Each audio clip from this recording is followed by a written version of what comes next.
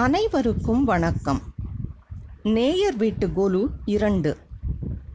நவராத்திரி விழாவின் போது கொலு வைப்பது என்பது காலம் காலமாக தொடர்ந்து பலருடைய இல்லங்களில் நடைபெற்று வருகிறது. இது எனது மகள் வீட்டு கொலு. கொலு நிகழ்ந்த நிகழ்வுகளை நமக்கு நினைவூட்டுவதாகவோ மற்றவர்களுக்கு நினைவூட்டுவதாகவோ அமைகிறது. பலருக்கு வாட்ஸ்அப்பில் ஏதாவது ஒரு தெய்வத்தின் படத்தையோ கோயில் கோபுரத்தின் படத்தையோ மற்றவர்களுக்கு அனுப்பி வைப்பது பழக்கமாகிக் கொண்டு வருகிறது. ஆம் கோபுர தரிசனம் கோடி புண்ணியம்தான். நம்மால் அடிக்கடி போக முடியாத கோயில்கள் அங்குள்ள தெய்வங்கள். படங்களின் வாயிலாகவாவது நமக்கு நினைவில் நிற்கட்டும். தஞ்சாவூர் தலையாட்டி பொம்மையை.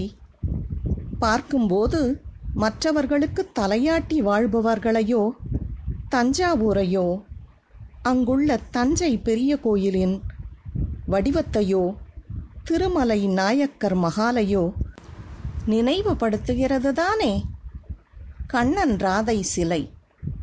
பக்தியை சிலருக்கு கொடுக்கும் வேறு சிலருக்கோ காதலை நினைவுபடுத்தும்.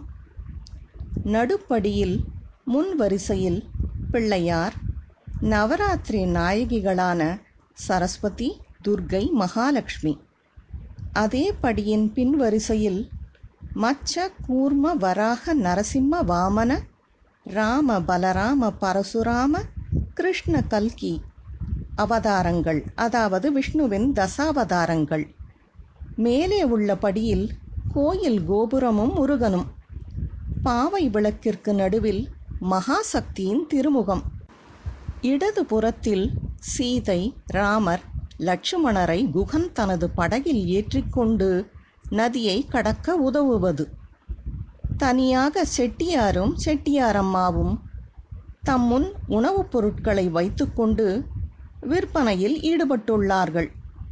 அவர்களுக்கு வலப்புறம் புத்தரும் லாஃபிங் புத்தாவும். வியாபாரம் பணம் இவற்றுடன் சந்தோஷமும் வாழ்வில் நிலை பெற. நாம் பெற இவர்கள் உதவுவார்கள் என நாம் நம்பலாம்.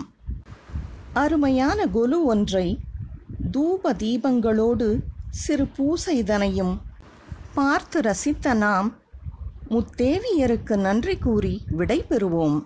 நன்றி வணக்கம்.